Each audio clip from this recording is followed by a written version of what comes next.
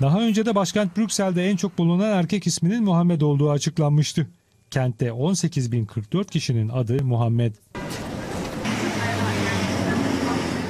Birleşik Krallık Ulusal İstatistik Ofisi de Eylül ayında verilerini açıklamıştı. O verilere göre Muhammed ismi İngiltere ve Galler'de en çok kullanılan isimlerde ilk ona girmişti.